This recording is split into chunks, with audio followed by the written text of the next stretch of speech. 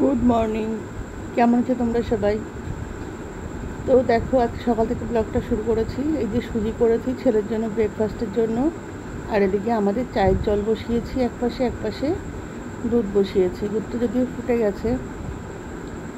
তো যাই হোক, এরপরে আর কিছু দেখাতে পারিনি। একেবারে দুপুরে রান্নায় সোজা চলে এসেছি দোকান থেকে এসে।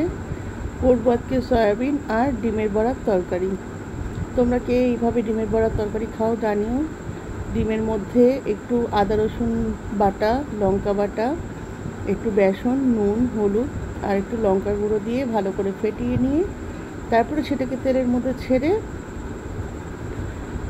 যেরকম বড়া ভাজে আর কি, সেরকমভাবে ভেজে রান্না করতে হবে। তো আমার ছেলে না এমনি ডিম রান্না করলে খেতে চায় না, সেই জন্য এইভাবেই রান্না করি আমি। আর এই বড়াগুলো এমনি খেতেও ভালো লাগে। তো যাই হোক কমেন্টস করে জানিও এইভাবে বড়া তুলে খেয়ে মানে কারা কারা খেয়েছো?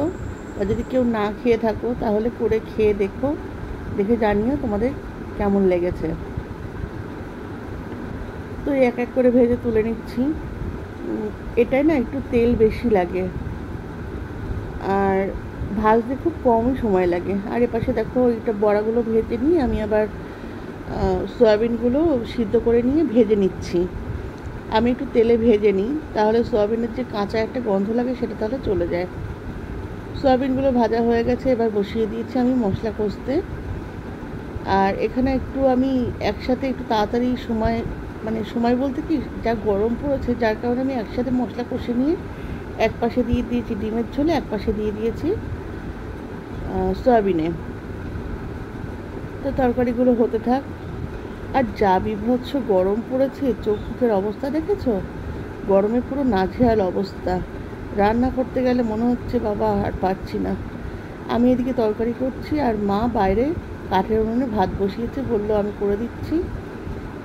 যাই হোক, মা ভাত করছে আর এদিকে দেখো আমার তরকারি হয়ে গেছে, এই যে সয়াবিন আর এই যে হচ্ছে ডিমের ঝোল। তো দুপুরে খাওয়া দাওয়ার পরে এবার পড়াতে যাওয়ার পালা, বাজে সাড়ে তিনটে। তো বেরোতে হবে। পড়িয়ে আজকে আমার আবার একটা কাজ রয়েছে। বিপিএল সমিতির মিটিং থাকে আমাদের মাসে একদিন করে, সেটা পাঁচ তারিখে করে। তো পাঁচ তারিখে আমার একটু প্রবলেমের জন্য যাওয়া হয়নি, সেই জন্য সেই মিটিংটা আজকে ফেলা হয়েছে। তো পড়িয়ে সোজা আমি ওখানে যাব, তারপরে সোজা সেখান থেকে দোকানে ঢুকবো। তো চলো, দেখতে থাকো, সঙ্গে থাকো। আবার সোজা মিটিংয়ে গিয়ে কথা বলা হবে কিনা আমি জানি না। কিন্তু সোজা দেখা হচ্ছে তোমাদের সাথে একেবারে দোকানে গিয়ে। এখনকার মতো টাটা। রাতে ডিনারে আজকে আমরা লুচি খাব, তাই তেল গরম হতে বসিয়ে দিয়েছি। আর এদিকে দেখো কিছু বেলে নিয়েছি, বেলাগুলো যদিও লুচিগুলো সব টেরা বেঁকা। যাই হোক, এইভাবেই চলতে হবে। তো প্রথম লুচিটা দিলাম তেলের উপরে। ফুলবে না, মনে হয়। না, দেখি। আসলে না, বেলাটা বড্ড বেশি তেড়া রাখা হয়ে গেছে, ওই জন্য।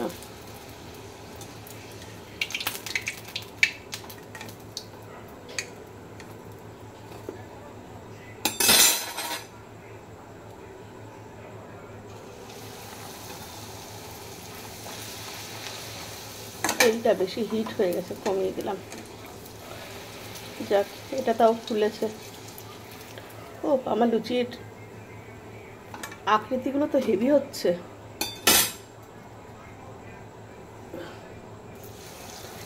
যাই হোক, ভেজে নিই সবগুলো। দেখা হচ্ছে তোমাদের সঙ্গে পরে খাওয়ার সময়। এই যে, ছেলের খাবার রেডি হয়ে গেছে। ছেলেকে দিয়ে আসি। তারপর আমি একটু ফ্যানের তলায় বসে তারপরে আমি খাব। নেই তুই নেই। তো রাত হয়ে গেছে, এখন প্রায় এগারোটা বাজতে যাচ্ছে। আজকের মতো ব্লগটা এখানেই আমি শেষ করছি। আর সারাদিন টুকটাক যতটুকু পেরেছি শেয়ার করছি, করেছি। আসলে কি জানো তো, সারাদিন প্রচুর কাজের মধ্যে আমি থাকি তো। জন্য সেভাবে আমি অ্যাক্টিভ থাকতে পারছি না। মাঝেও বেশ কিছুদিন আমার ব্লগ দেওয়া হয়নি। আর এই আর কি, আর প্রচণ্ড গরম পড়েছে তো।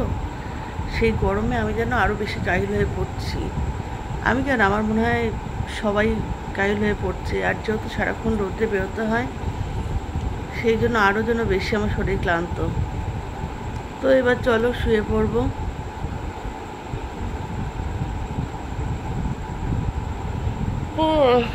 ঘুমও পেয়ে গেছে আমার। আমার চোখ দেখে হয়তো তোমরা বুঝতেও পারছ।